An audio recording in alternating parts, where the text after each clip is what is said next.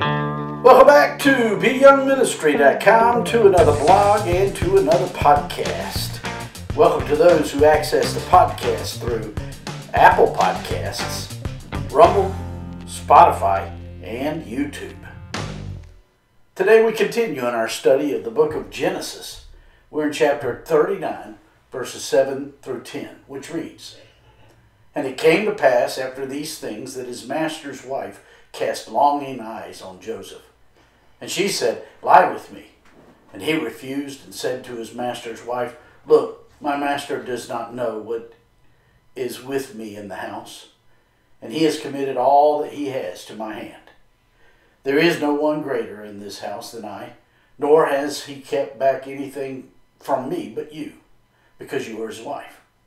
How then can I do this great wickedness and sin against God? So it was as she spoke to Joseph day after day that he did not heed her to lie with her or to be with her. That's Genesis chapter 39, verses 7 through 10. Today we continue our study of Genesis 39, where Joseph has been sold into slavery in Egypt and is now the overseer of the house of the Egyptian Potiphar. In our last study, we ended up with the idea that Joseph was quite attractive. This is why his walk with the Lord was so important, as we will see. And since Joseph was so diligent to maintain a consistent walk with the Lord, Potiphar grew in his trust in him, so much so that he trusted him with everything in his life, including his gorgeous wife. In verse 7 of today's passage, we read, and it came to pass after these things that his master's wife cast longing eyes on Joseph, and she said, Lie with me. Potiphar's wife cast longing eyes on Joseph before she made her proposition to him. Her eyes were like torches set aflame by the lust in her wicked heart. She didn't care to guard her eyes from leading her into the den of wickedness because she loved her sin so. For those who have seen the light, we must feel for her because she was blind to the truth. Due to that, she didn't understand that all of her earthly desires were mere echoes of that ultimate desire that we all have, which finds its only fulfillment in an intimate, personal relationship with our Creator. Couple this together with what we read in Jeremiah chapter 17 and verse 9. Quote, The heart is deceitful above all things and desperately wicked. It then asks, Who can know it? And we discover our desperate need to be delivered by and to the Lord Jesus Christ. When we avail ourselves to someone who is under the influence of someone other than the Lord, we run the risk of being cornered by them and defined wrongly. Satan always waits for the optimum time to tempt us. He waits until it's just the right moment, and then he casts his lure in our direction. In Joseph's case, the timing was perfect because Joseph was far away from home, he was a slave, and he was probably most lonely. In addition, he was experiencing great success. Somebody has wisely said the temptations that accompany prosperity are far greater than those that accompany adversity. Satan strategically timed the temptation for the period of greatest impact. In verse 8 of today's passage, we read, But he refused and said to his master's wife, Look, my master does not know what is with me in the house and he has committed all that he has to my hand. No doubt that Potiphar's wife was very beautiful.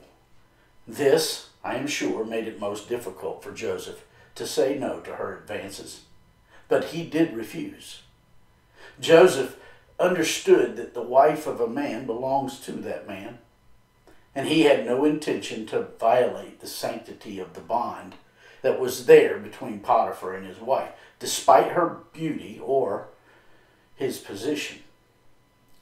Regardless of what had been entrusted to him in all of Potiphar's house without any record of it being spoken, Joseph knew that his authority didn't reach to the wife, nor could it. In his response to Potiphar's wife, Joseph elevated the authority that he enjoyed beyond himself, starting with his master and then demonstrating that she was responsible to him as well. In verse 9 of today's passage, we read, There's no one greater in this house than I, nor has he kept back anything from me but you, because you are his wife. Joseph understood that his sin against his master, in this case, was sin against God. It isn't true that we can only sin against God. The Bible bears out that we can sin against one another. And not all sins against one another are sins against God. But more often than not, the two overlap. This is one of those times. After impregnating Bathsheba, and having Uriah killed to cover it up. In Psalm 51, in verse 4, David wrote, Against you, you only have I sinned and done what is evil in your sight. It was at least 200 years before the giving of the law of Moses, and yet it was an understood precept, not only to Joseph, but also to Potiphar's wife. And so Joseph invoked God as his defense against her advances. In this exchange, Joseph used the name Elohim for God instead of Yahweh. Instead of the God of the covenant, of whom Potiphar's wife was excluded, Joseph mentioned the God of creation, to whom she was accountable. God had long instilled such knowledge in the heart of man, and Joseph hoped that Potiphar's wife would reflect on it hoping that she would repent. In verse 10 of today's passage, we read So it was as she spoke to Joseph day by day that he did not heed her to lie with her or to be with her. It's one thing to have someone enticing you to do something you shouldn't do when you can avoid them.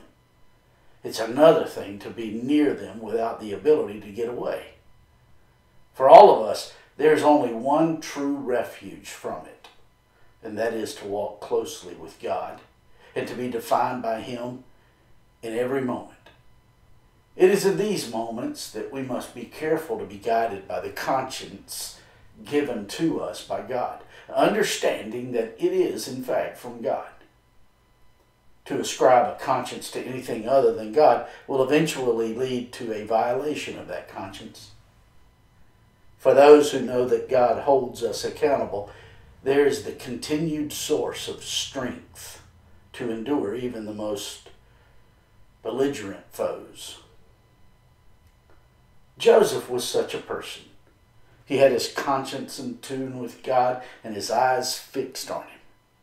Joseph understood that the answer was the Lord himself. In Romans 13 and verse 14, we read, but put on the Lord Jesus Christ and make no provision for the flesh to fulfill its lusts. This is what Joseph did in order to resist the onslaught of the enemy, who desired to wreck the incredible plans the Lord had in mind for his people. I can't help but wonder how many times have my poor decisions given the enemy the upper hand in a given situation? My friends, I trust this blog and this podcast are helping you in your walk with the Lord. If I can be of further assistance to you, shoot me an email at byoungministry at gmail.com. Hey, have a great